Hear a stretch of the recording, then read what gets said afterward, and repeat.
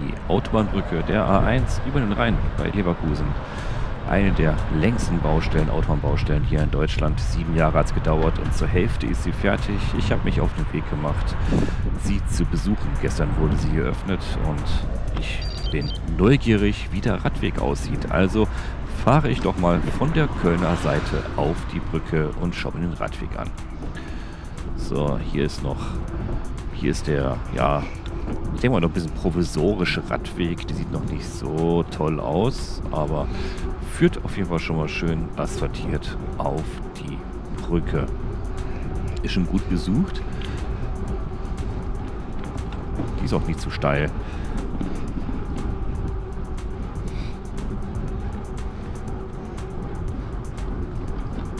Dafür ist sie auch ein bisschen länger. So, hier sieht man noch alles noch ein bisschen provisorisch. Und jetzt sind wir in ein paar Sekunden auf der Brücke. Hier sieht man schon das erste Ausgleichsstück hier. Da sind wir auf der Brücke.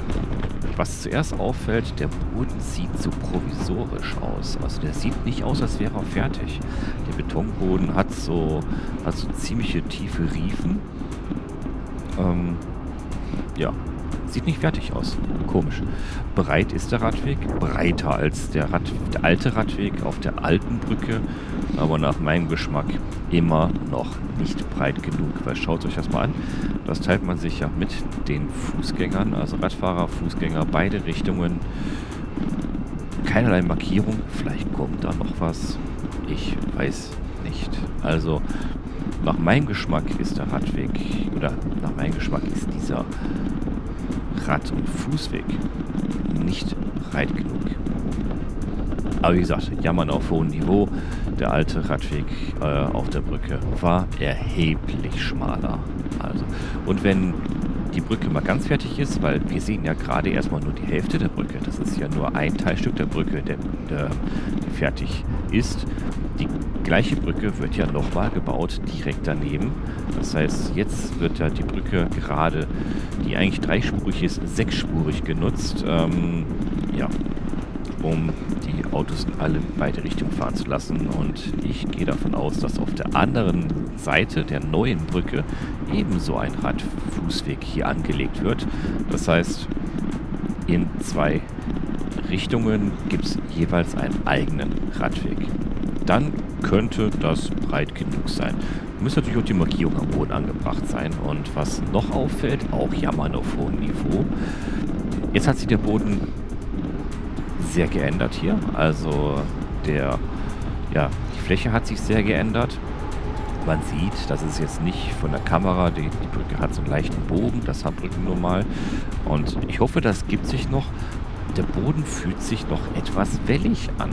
Also, wenn man da ein bisschen schneller drüber fährt, ich bin einmal hin und einmal wieder zurück über die Brücke, wenn man da ein bisschen schneller drüber fährt, das rappelt schon etwas, weil das, ist, das fühlt sich noch ziemlich wellig an. Ich gehe mal davon aus, das setzt sich noch. Ähm, ja, ich bin kein Fachmann, aber ich gehe mal davon aus und hoffe mal, dass sich das noch so ein bisschen gibt, ein bisschen setzt, weil ansonsten sind ja die ersten Risse eigentlich schon, schon ja, vorprogrammiert im Boden dieser Brücke hier, weil das ist schon sehr wellig. So, jetzt hat sich der Boden wieder geändert, ihr seht es.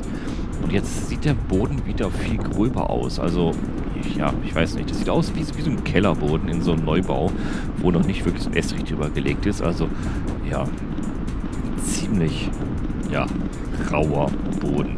Ziemliche Furchen drin hier.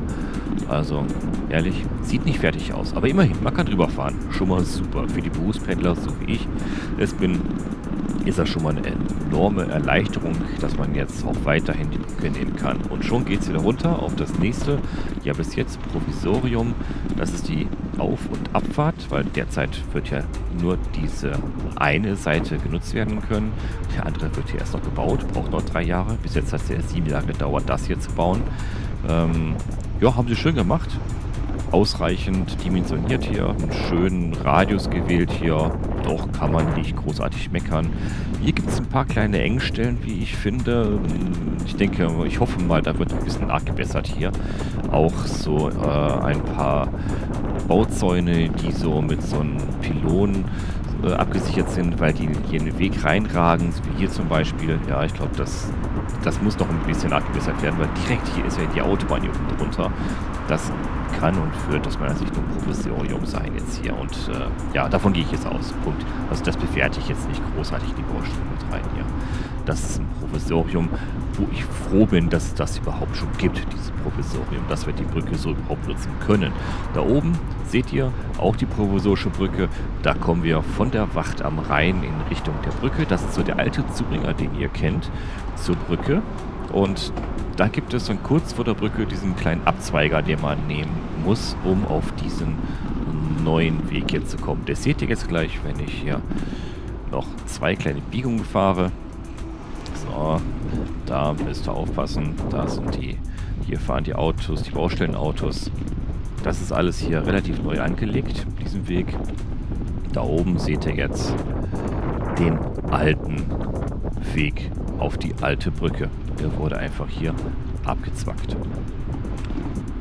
So, das war's. Jetzt sind wir einmal von Köln nach Leverkusen über die neue A1-Brücke. Ich bin froh, dass sie gibt, freue mich aber, wenn sie in drei Jahren mal komplett fertig sein sollte.